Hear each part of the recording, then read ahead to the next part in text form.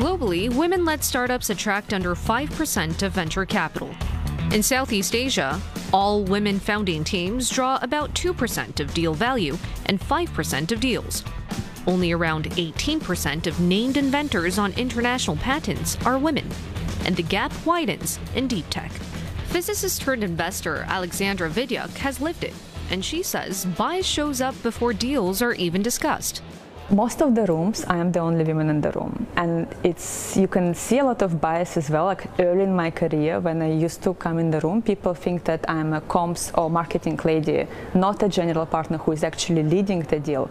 So this, the bias is there it's subtle but it's there. So i used to like now now is it at my advantage because i attract more attention. I'm like a magnet for people so i always have more insights more deals and more talent approaching me the talent is there, but family duties and risk roles still sideline many women.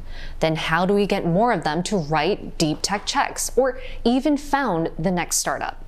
Well, Epic Angels thinks it may have the answer.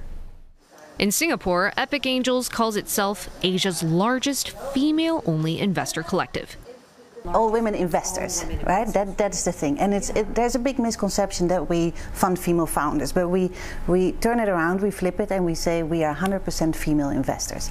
And it's good to understand that we are not feminists, we're not activists. We just want to create this access, and we believe that women make great angel investors. But we want to also create that comfortable space for them to learn, to be able to ask questions that they may be a bit insecure about, like, oh, what would others think of me, and that just just works different if we're all women, um, and that has worked really well. Epic Angels open data rooms, review 100 deals a month, and shortlist four for group diligence online across 45 countries. Hester's point? Women don't lack talent, just visibility and access to how venture works. That's backed by Cameron Priest, a prominent tech founder and investor who successfully exited from TradeGecko. When you see people that look feel and put their pants on one leg at a time, just like you, and they're doing this much more ambitious, grandiose thing. I think it unlocks something in your brain to realize, oh, if they can do it, I can do it. It's that Steve Jobs quote, which is like everything in this world made by someone no different from you. Um, and I just think that's the biggest thing, get, getting exposure. Um, it's exposure therapy. Everyone needs exposure therapy to what ambitious success looks like. And founders like Suraya show why that access matters a chemical engineer and nanotechnologist, and a mother of three, she built her startup around carbon quantum dots, a greener alternative to toxic nanomaterials.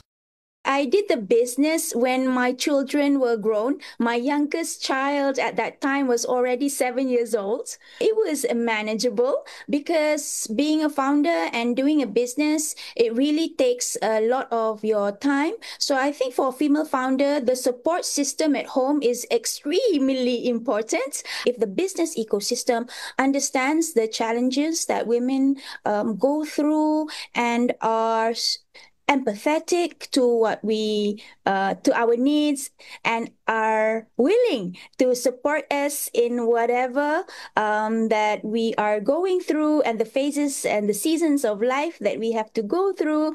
I think then um, there will be um, even more women who would be successful in in building businesses Governments are nudging change. Singapore now asks listed firms to set board diversity targets.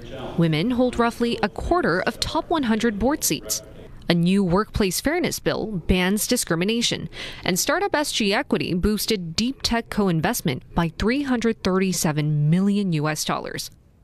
If 1 million women invest 10K, that moves 10 billion, and that starts to become a real river.